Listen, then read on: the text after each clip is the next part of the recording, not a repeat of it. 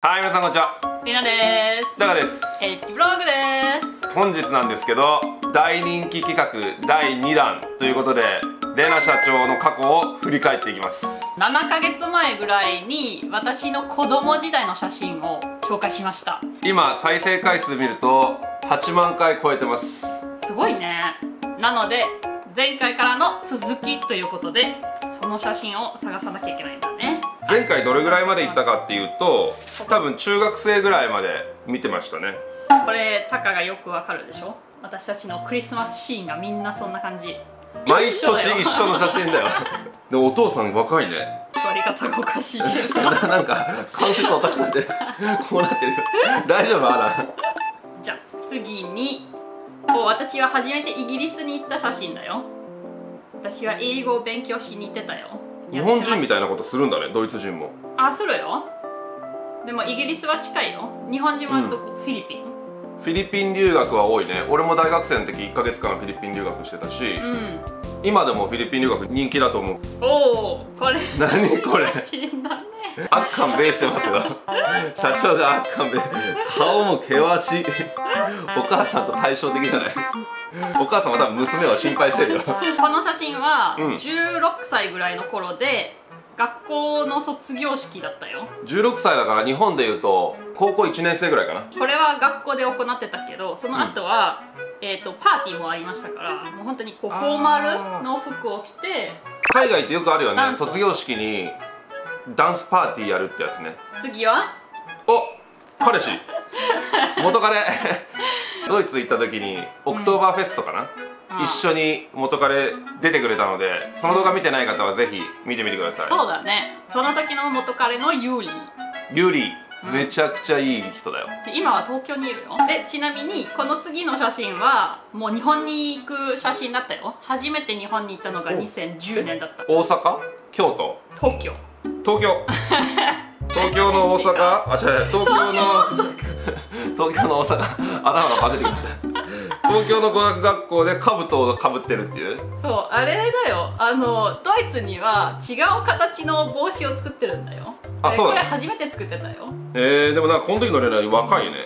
若いなんかしょ中学1年生ぐらいのなんか若さがあるよね。いやでも18歳だったよ。全然なんか若々しいね全然18歳には見えないね。でこれがすごい思い出だよ。これも日本ですね多分。初めての浴衣で花火大会。えー、めっちゃ暑かったよこの時。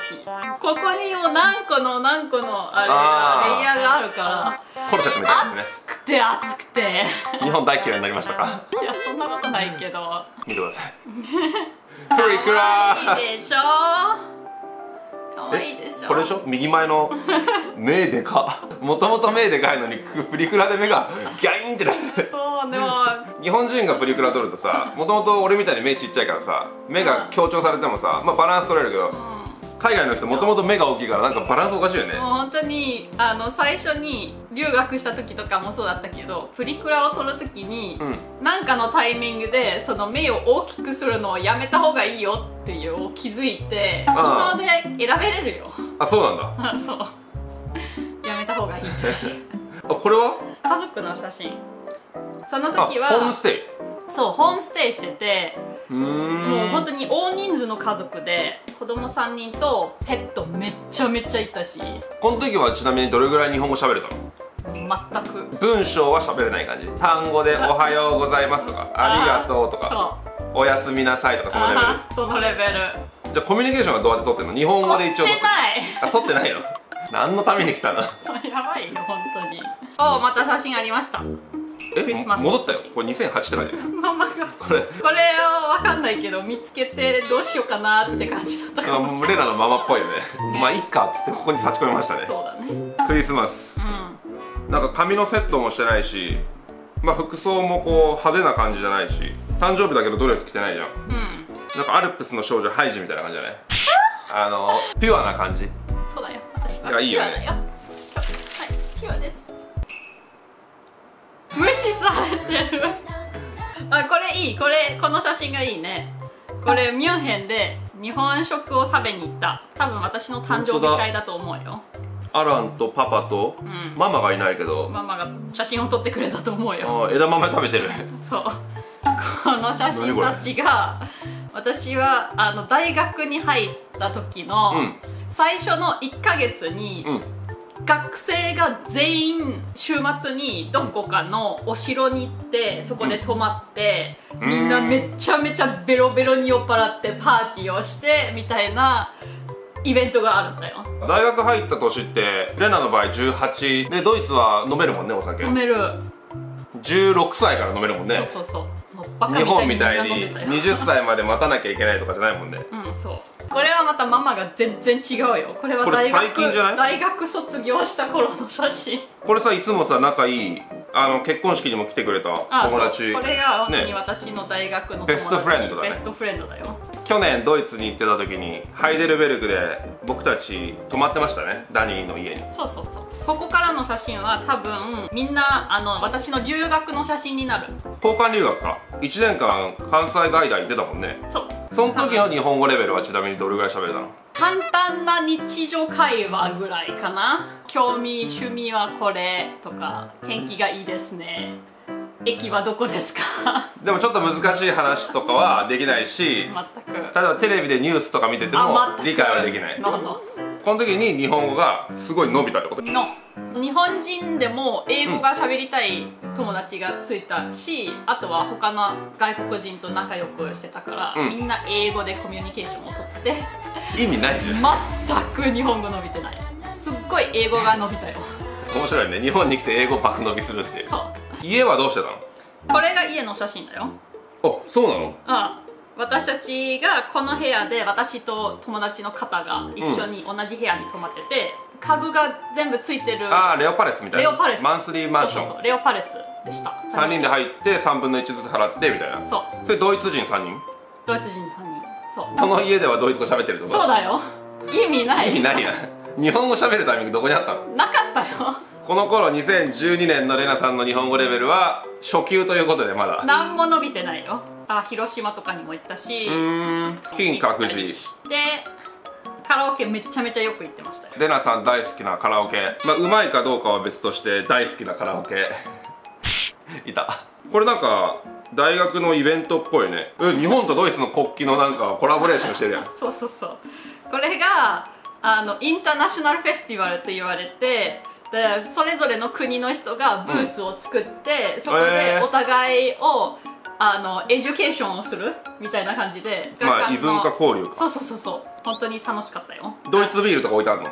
ハリボとかよく見る。なるほど。ハリボ出た。とかチョコレートとかはありましたよ。これドイツ人の悪い癖でねドイツを紹介するってすぐハリボ持ち出しますからね。すごい簡単だからあるから。誰もが知ってるハリボこれ名古屋来てるやん。そうだよ。名古屋来てますやん社長。これ私の初めての名古屋だったよこの写真。友達の名古屋出身の日本人の友ちい達がいるんだけど。ゃいい子。今でもすごく仲良くしてるけど、うん。その時にこれ名古屋城の天守閣にまだ入れた頃の写真シャチホコの上に座ってね。座って写真を撮った。2013年名古屋上陸してましたか？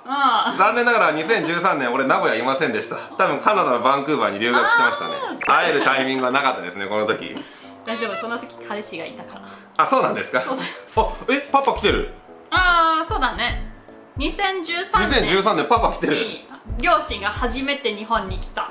留学期間がまだ終わってなかったから、両親が、うん。まあ京都に泊まって1週間自分たちでいろいろ見て私はまだ大学に行ってた。で私の大学を見に行ってた写真、この時はお父さんとお母さんはどこに行ったの？2週間3週間あってあ日本の、まあ、上から下まで大体こうバーって旅行したの。あだからその1週目は関西を見て、うん。京都とか大阪とか、うん。奈良とか神戸行って、うん。で私が終わったタイミングでもう名古屋に行って高山に行って箱根行って東京行って。じゃあ中部エリアと関東エリアは行ったんだ。広島とかまで行った。で九州とかは行ってないし北海道は行ってない。本州だけ。じゃあ今度両親が来た時北海道連れてくのもいいかもね。自然豊かじゃん。でご飯美味しいじゃんうん。で九州もまあ自然豊かご飯美味しいからね九州。どこに行っても。自然豊か。でご飯美味しい。い。日本どこでもいいかで両親が大好きなんですよ。自然が。ハイキングとかねトレッキングとかね、うん。和歌山に連れてきたい。自然が綺麗なのはわかるけど俺和歌山のご飯であんまりイメージはない。大丈夫どうでもいい。和歌山の有名なご飯って何ですか？和歌山ラーメン。和歌山ラーメン。まあ美味しい確かに。これ私たちも行ったレストラン覚えてる？え？広島のお好み焼きレストランが、両親と一緒にたまたま見つけてうん。で私たちは広島に行った時にこのレストランに行きたいと言って、うん。そこに行きましたよ。めっちゃ美味しかったよ。いた？俺？違う彼氏だったかな。東京にいた時に、に旅行で行ったんだよね。うん、覚えてない覚えてない。はあレストランに行ったのはもう一回行かなきゃいけないかな。ちなみに両親はお好み焼きどうだったの？大体何でも美味しいって言ってパンケーキ。ちょっと味の濃いソースが乗ったジャパニーズパンケーキね。ジャパニーズパンケーキが合ってるかわかんないけど、うん、美味しかったよ。おマウント富士。あこれ箱根じゃね？ああそう。芦ノ湖なかなかあんなに富士山が綺麗に映ってることがほとんどないのに。大体雲かかってるけどね。そう夏だったし。どうした？パパパパパパ急にパーティーピーポーになってる。どこピンクのどこ帽子かにあった？かぶってどうしわかたんないよパパ大体帽子が好きだよ。でもピンクのキラキラの帽子は初めて。パパ硬派な人ですからね。なかなかないですよこういう写真。おこれ懐かしい。2015年だから俺たちもう出会ってる時じゃん。1年目。付き合ってる時だよ。付き合った初めての冬。私はドイツにクリスマスに帰ったよ。そうだ俺で日本にいたんだ。そうだよ。でこの写真なんか送ってこられた覚えがあるもん。あれ？ですぐ？ジョーン2016年。次の年だ。そうだ行ったんだ俺。あと私もめっちゃ変わったよ。確かに。髪の毛全然変わってる。なんか2015年のこの写真ってまだなんか18歳19歳みたいな。感じだけど2026年の。もうおばさんに見えるってい感じ？い意味で大人になったね。あこう大人のいい味が出てきたね。初めて僕がレナの両親にまあ挨拶して会った時だね。2週間ぐらい行ったと思うんだよね年末年始合わせて。そでずっとレナの両親のお世話になって、まあ、家でずっと泊まらせてもらって、うん。でこの時はもうドイツ語もナッシングだったんで。うナッシング。本当にずっと英語でコミュニケーション取っててめちゃくちゃ疲れた覚えがある。そう。そりゃそうじゃない。彼女の両親とさ2週間一緒に暮らしてるからさ。まあ気を使うじゃん。さすがの俺でも。さすがのタカでも。さすがのタカちゃんでも気を使うのでね。北朝鮮人の中の。2016年は夏にえそんな帰った夏にもドイツにあそうあだよ。あ覚えてないわ。会社が払ってくれたと思うよ。で両親とアムステルダムに遊びに行った。おこれ。すごいジャンプしたね。全然時期違うけど。2018年スコットランド。もう世界一周が始まって世界一周当時の写真だね。お母さんが多分写真撮ってくれたから入ってないけど、いいです懐かしい。俺もガリッガリだし。まだガリガリじゃないんじゃない？いやでも今と比べたらだいぶ体重。そうだよ。ねじゃぶじゃぶちゃんじゃぶじゃぶじゃぶちゃんこれもそうだね。これスコットランドじゃない？あー景色がすごいよね。何スカイだったっけこれ？I love sky これめちゃくちゃ綺麗だったよ。ここのスコットランドの。車借りてドライブしたけどね両親がうん。スコットランドで合流して、2週間3週間ぐらい一緒に世界一周をしたよね。世界一周スコットランド一週間その後はドイツに行ったから。だから僕ら世界一周の途中は両親とも一緒に旅してる時があったんだよね、だからそれも動画にしてるから、まだ見てない方はぜひ。昔の動画見てみてください。え？何これ？ドイツから出発した写真だよ。あ世界一周の時スコットランドで両親と旅してそっから一回バイバイして両親はドイツ戻ったじゃん、うん。で俺たちはドイツに戻ったよ。若いな。髪型。髪型やばい。髪型もなんかやばいなこいつ。あと荷物が多すぎる。そう。この時ねバックパッカーで世界一周してたからこの荷物レナが多分1 0キロ1 2 3キロで、俺1 8キロとかうん。背負ってここにガボッつって。やりすぎたよここからみんな世界一周の写真だよ多分。本当だ。ペルーのアルパカ。アルパカと一緒に写真を撮って。最後の方だもんね南米。そうそうそう。ちなみにアジアに最初に行ってその後ヨーロッパに飛んでアフリカ行ってもう一回アジアに行ってアメリカ行ってそのままアメリカから陸路でずーっと下まで行って南米ざーっと行った後に最後ドイツの両親に会いに行ってそっから、まあ、日本に帰ろうってしてたんだけど途中でウクライナ寄ってで中国寄って日本に来るっていう。マチュピチュ南米の時ね。マチュピチュめっちゃ綺麗だったね。これ天気も抜群だったし、ね。ああそうだね。そう、うん本当にめっちゃおすすめするよ。俺もガリガリじゃん。あれガリガリだよ。腕細い細いもうマッチ棒みたいな腕してる あああれめっちゃ良かったね。ウユニ塩湖ボリビア。うん。この写真たちこれすっみんな面白いよごい綺麗だね写真でわかんないけどこれよりも100倍ぐらい良かったよ。これ。下に水が張ってるからね。上の星が反射して下がねブワーって星になってて。行ったことないけど宇宙行ったらあんな感じなんだろうなって感じ。そう。あありましたよ。私が一番人生で頑張ったタイミングです。告白をしました。実は世界一周のウユニ塩湖でレナにプロポーズしました。日本語で言わずにドイツ語で確かなんか調べてうん。記憶して レナに伝えたと思う。あ動画がありますので見てみてくだそさい。の動画もありますよ。皆さんぜひ見てみてください。最後は「Welcome Lena and ああそうだね。ドイツによって笑顔が。すごいね。2019年9月2日結婚届を出しました。そう細いね本当に。やばくない？今の体と比べてみて皆さん。なんか厚みも多分半分だしここの構造差もね。やばいねこれ。やばいね。風吹いたらヒューって飛びそうだレナ痩せたんじゃない？今の方が。今の方が綺麗になってるんじゃない？痩せて。ありがとう。ね。たまには。えたまにはいいこと言っとかないとね。